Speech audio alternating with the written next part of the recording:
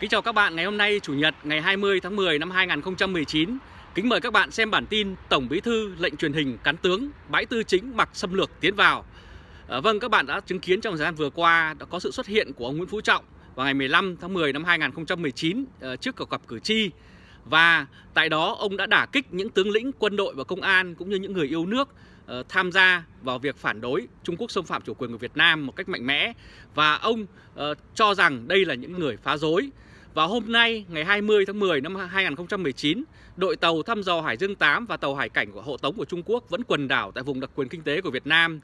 Hành động này của nhà cầm quyền Trung Quốc đã diễn ra trên 3 tháng qua nhưng không hề thấy ông Tổng Bí thư Chủ tịch nước Nguyễn Phú Trọng nêu tên đích danh Trung Quốc để phản đối họ. Và chúng ta xin chia sẻ ờ, với các bạn những hình ảnh mới nhất ở đây.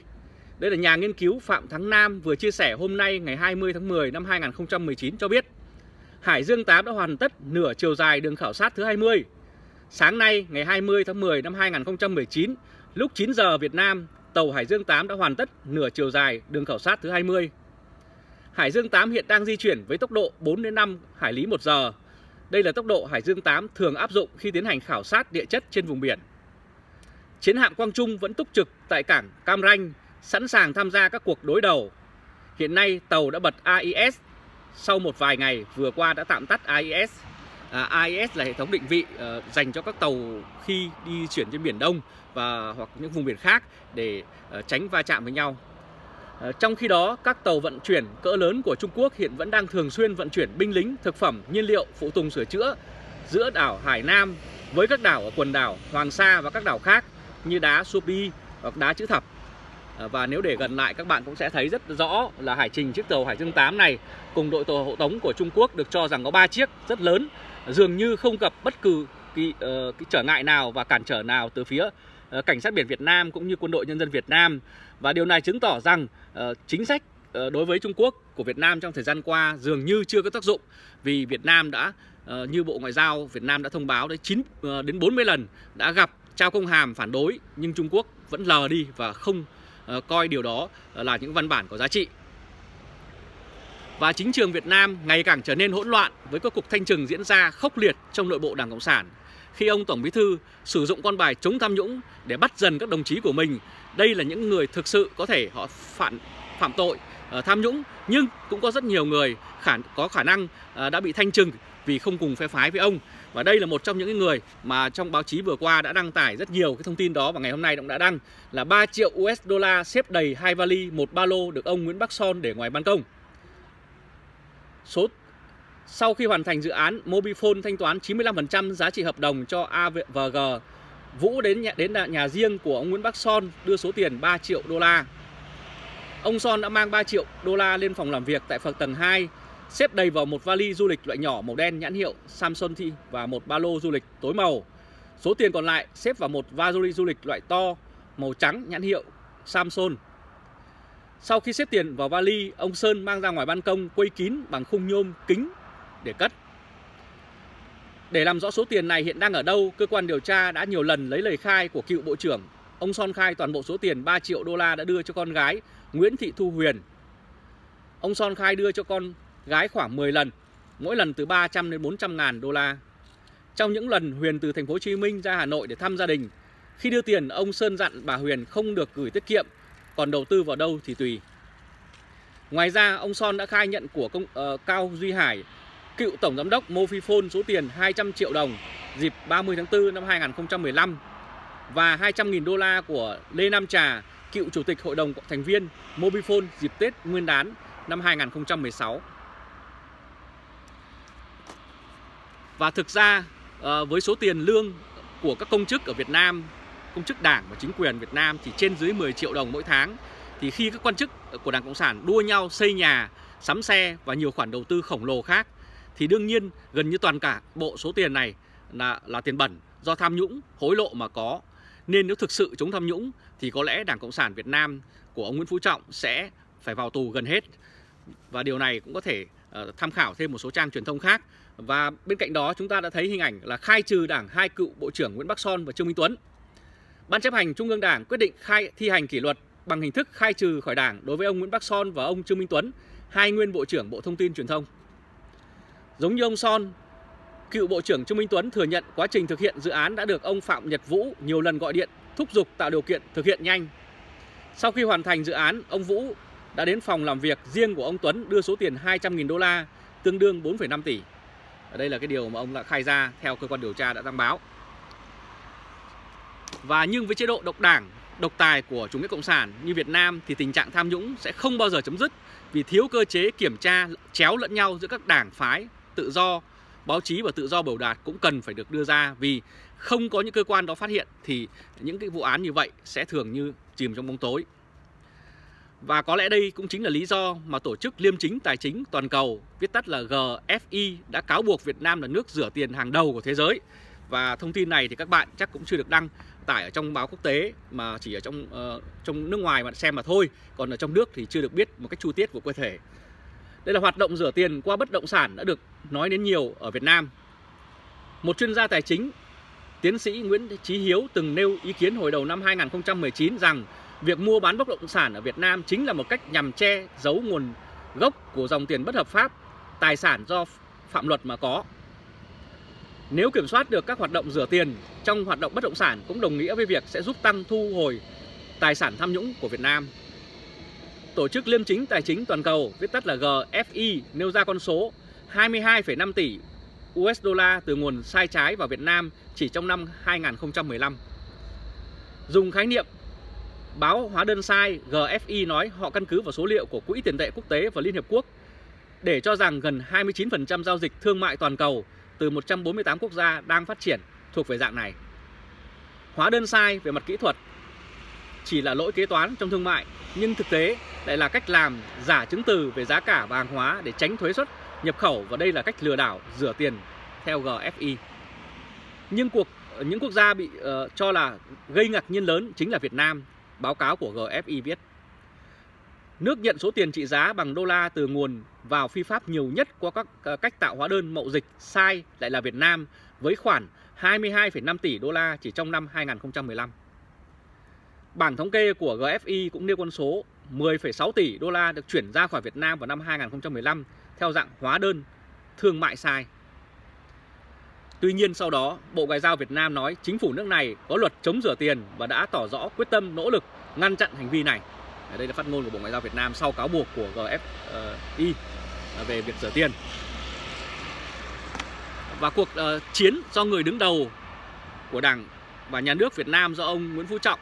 dẫn đầu giờ đã bắt đầu lan sang cả mặt trận văn hóa và tư tưởng khi ông lao vào đả kích cái tướng lĩnh quân đội và công an đã thể hiện quyền tự do biểu đạt khi lên tiếng về tình hình Biển Đông trong thời gian vừa qua và các bạn cũng có thể chứng kiến những hình ảnh rất mới nhất của chúng tôi đã ghi nhận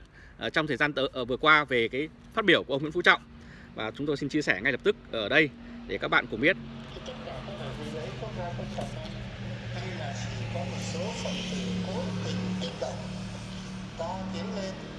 lên gân lên ra vẻ ta là anh hùng ta chỉ là yêu nước ta yêu nước còn trung ương đảng chính phủ này không yêu nước à tổng bí thư không yêu nước là vô trách nhiệm à thì mong các bác hôm nay tôi thấy mấy rất hay là phải cảnh giác với những cái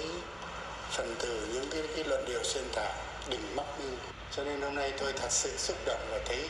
rất là cảm ơn các đồng chí đã nêu lên cái tinh thần à, đặc biệt là bác thước nói mới đã đúng là đã chinh chiến rồi kinh nghiệm ừ, lâu năm vâng đấy là chia sẻ của ông Nguyễn Phú Trọng trong cái cuộc gặp cử tri ngày 15 tháng 10 vừa qua và à, cũng hôm à, nay ngày 20 tháng 10 năm 2019 ông Nguyễn Phú Trọng đã dùng kênh truyền thông VTV1 của nhà nước cho tay chân đánh phá các tướng lĩnh quân đội, công an và trí thức và đúng giờ vàng để nhiều người xem được nhất. Và luận điệu vẫn dùng là dùng hình thức tuyên truyền rẻ tiền để quy chụp phát ngôn của anh hùng lực lượng vũ trang tướng Lê Mã Lương, tướng công an Lê Văn Cương và nhiều người khác. Và chúng tôi cũng xin chia sẻ để các bạn có thể biết Ờ, thêm cái thông tin này. Thời gian qua, nhiều tướng lĩnh, sĩ quan trong quân đội cũng rất phiền lòng khi nhắc đến căn bệnh công thần của một vị tướng, người từng là thần tượng của cả một thế hệ thanh niên Việt Nam trong kháng chiến chống Mỹ. Với câu nói nổi tiếng trên trận tuyến đánh quân thù,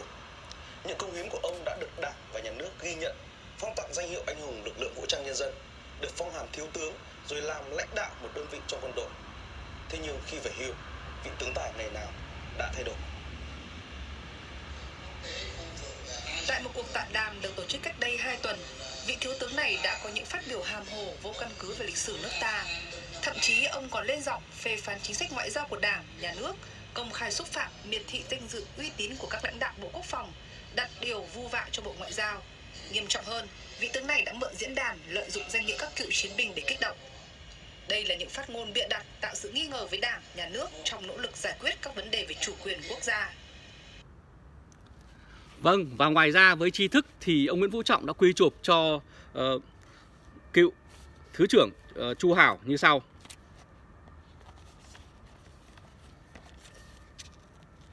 Để những căn bệnh ấy không chỉ làm méo mó hình ảnh, nhân cách vinh quang của chính họ mà còn tạo ra dư luận xấu, ảnh hưởng đến niềm tin và tình cảm của nhân dân. Trong bản tin thời sự 19 giờ hôm nay, chúng tôi sẽ dành một phần thời lượng để bàn về vấn đề này qua phần trình bày của biên tập viên Việt Cường. Vâng, xin cảm ơn chị Khánh Trang.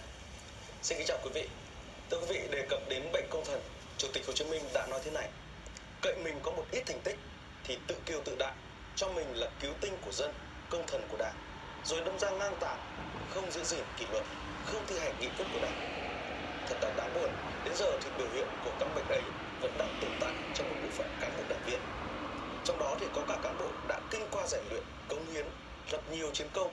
nhưng đến lúc nghỉ hưu thì lại thiếu tỉnh táo, nói và viết trái với đường lối quan điểm của đảng rồi là tiếp xúc với nhiều đối tượng cơ hội chính trị thậm chí là các đối tượng phản động bị chúng lợi dụng kích động dẫn đến phát tán nhiều thông tin xấu việc làm sai trái có hại cho đất nước gây hoang mang và bức xúc trong dư luận. Từng giữ nhiều cương vị quan trọng trong cơ quan nhà nước nhưng sau khi về hưu ông Chu Hảo, nguyên Thứ trưởng Bộ Khoa học Công nghệ, đã vi phạm nghiêm trọng nguyên tắc tổ phải một lần mà nhiều lần. Dù cố tình không chấp hành kiểm điểm và có hành vi chống đối thách thức tổ chức, có những lời nói phát ngôn bài viết mang tính xuyên tạc chống đối đảng và nhà nước với những luận điệu thù hằn. Trước sự suy thoái rất nghiêm trọng về tư tưởng chính trị, tháng 11 năm ngoái, ông Chu Hảo đã bị kỷ luật khai Vâng, à, đấy là những cái chia sẻ mà chúng tôi đã ghi nhận lại ngày hôm nay trong cái chương trình truyền hình của đài VTV1 phát vào lúc 19 giờ tối nay và chắc là các bạn trong nước cũng đã xem được hình này. Và đây là một chiến dịch được mở màn từ ông Nguyễn Phú Trọng từ hôm 15 tháng 10 vừa qua và đã được những lực lượng khác, dư luận viên cũng như đài truyền hình Việt Nam thực hiện để bôi nhọ và bôi xấu những người anh hùng và những người đã phản đối cái việc mà Trung Quốc xâm phạm chủ quyền của Việt Nam và điều đó ông Nguyễn Phú Trọng đã làm một cái rất hết sức sai lầm. Và dư luận của người dân sau khi xem xong những chương trình như vậy kiểu đấu tố uh, trên VTV1 với cái sự chỉ đạo của có lẽ là của Nguyễn Phú Trọng đã đưa ra những ý kiến sau. Và đây là ý kiến của họ mà chúng tôi cũng đã ghi nhận những ý kiến này. Và chúng tôi xin ờ, trích dẫn để các bạn cùng biết. À, một bạn tên là Vũ Hoàng Thắng nói uh, choảng choảng nhau công khai trước thềm rồi. Tức là và bạn thứ hai là Dương Đặng thì nói thêm đấu tố thời cải cách ruộng đất soạn lại. Bạn thứ ba là bạn ờ, bạn Vi thì nói rằng ông VTV4 nói dóc dễ mị dân chẳng ai nghe. Và vậy bạn Thơm thì đem đem cả hệ thống tuyên truyền ra đấu tố kinh khủng. Và đây là những cái chia sẻ mà rất là nhiều người sau ờ, video này xem họ đã có những có, có bình luận uh, tương đối khó chịu về cái việc VTV đã đem ờ, cái ngân sách của quốc gia ra để làm những cái việc ờ, mà không xứng đáng. Và điều lạ là gần đây ông Tổng Bí thư Chủ tịch nước Nguyễn Phú Trọng rất y khi xuất hiện vì sức khỏe kém sau đột quỵ lần thứ nhất ở Kiên Giang vào hồi tháng 4 năm 2019. Nhưng hôm 15 tháng 10 vừa qua ở Hà Nội trong cuộc gặp cử tri, dường như ông đã dùng diễn đàn này để với mục đích chính là sỉ nhục lòng yêu nước của các tướng lĩnh quân đội nhân dân Việt Nam cũng như các tướng lĩnh công an và các trí thức khác và đây là chia sẻ mà ông đã đưa ra trong cái buổi hôm đó. Chúng tôi xin trích dẫn. Xảy ra chiến tranh liệu chúng ta có thời gian để họp thế này không? Có thời gian để lo chống tham nhũng hay không? Hay trong và ngoài nước lại cấu kết với nhau để chống chúng ta? Mọi người cần hết sức tỉnh táo, cảnh giác với thông thông tin của các phần tử luận điệu xuyên tạc. Đừng mắc mưu đôi khi lại hỏng việc. Không phải cứ nói mạnh, hăng máu vịt là được. Để đây là cái ám chỉ của ông Nguyễn Phú Trọng Ờ, với các tướng lĩnh quân đội nhân dân Việt Nam cũng như các tướng lĩnh công an là hong bóng vịt và đặc biệt là với những người dân ờ, phản đối việc Trung Quốc xâm phạm chủ quyền và khi ông Nguyễn Phú Trọng là một cái người đứng đầu nhà nước mà không nói ra nước nào xâm phạm chủ quyền Việt Nam trên 3 tháng qua thì người dân nói điều đó thì ông ta rất, rất khó chịu. và là chủ tịch nước thì là cũng là đồng thời là người thống lĩnh lực lượng vũ trang nhân dân. Khi ông Nguyễn Phú Trọng không thể chỉ thẳng được nước nào đang xâm phạm vùng đặc quyền kinh tế của Việt Nam thì đây là một bằng chứng thiếu trách nhiệm nghiêm trọng có thể dẫn đến mất lãnh thổ vào tay xâm lược bành trướng Bắc Kinh. Và có lẽ từ giờ đến trước đại hội 13 của Đảng Cộng sản Việt Nam vào năm 2021, ông Nguyễn Phú Trọng sẽ còn bận chống nhiều tướng quân đội và công an và cũng như các tầng lớp trí thức và nhân dân hơn nữa khi họ thể hiện thái độ rõ ràng với Trung Quốc và cụ thể chúng ta có thể thấy chia sẻ của ông uh, anh uh, tướng thiếu tướng uh, anh hùng lực lượng vũ trang nhân dân Lê Mã Lương đã nói trong cuộc gặp vừa qua dự buổi hội thảo có các anh ở Bộ Ngoại giao, Ban Đối ngoại Trung ương, tôi muốn hỏi các anh, chính phủ có kiện Trung Quốc ra tòa quốc tế hay không? Đây là câu chuyện của toàn dân Việt Nam, giữ được bãi tư chính là giữ được các đảo khác của Việt Nam. Nếu chúng ta để mất thì Việt Nam sẽ không còn đảo nào. Đây là phát biểu của trong buổi tọa đàm về bãi tư chính vừa được diễn ra tại Hà Nội vào mùng 6 tháng 10 năm 2019 với sự tham dự của rất nhiều vị nhân sĩ có tiếng và ông uh, thiếu tướng anh hùng lực lượng vũ trang nhân dân Lê Mã Lương, nguyên giám đốc Bảo tàng lịch sử quân sự ờ, Việt Nam đã nêu ý kiến của mình như vậy. Và chính những ý kiến này của ông ờ, Lê Mã Lương cũng như là nhiều người khác trong diễn đàn đã làm cho Nguyễn Phú Trọng rất khó chịu. Bởi vì ngay cả những ờ, vị quan chức cấp cao hàng đầu của của Đảng Cộng sản Việt Nam, mặc dù sau khi đã về nghỉ, nhưng họ vẫn luôn lo lắng cho chủ quyền của đất nước và họ đã có những phát ngôn và phát biểu một cách hết sức công tâm. Nhưng điều đó đã gây cho ông tổng bí thư không hài lòng vì có lẽ chính sách của ông với Trung Quốc lại khác đi. Và nếu quá trình này ông Nguyễn Phú Trọng vẫn tiếp tục say sưa đánh phá các tướng lĩnh mà quên đi chủ quyền đất nước với tính mạng của trên 90 triệu người dân Việt Nam thì ông Nguyễn Phú Trọng sẽ trở thành người ngăn cản sự đổi mới của đất nước theo hướng văn minh, dân chủ để độc lập và bảo vệ được toàn vẹn lãnh thổ trước một Trung Quốc ngày càng hung hăng trên Biển Đông. Rất cảm ơn các bạn đã chú ý theo dõi chương trình truyền hình trực tiếp của Lê Trung Khoa Thời báo D ngày hôm nay Chủ nhật ngày 20 tháng 10 năm 2019. Các bạn hãy chia sẻ video này cũng như để lại bình luận và chúng tôi sẽ tiếp tục phục vụ các bạn những thông tin mới nhất, nhanh nhất và trung thực nhất. Chào các bạn và chúc các bạn một ngày mới an lành. Trung Khoa từ Berlin, Cộng hòa Liên bang Đức.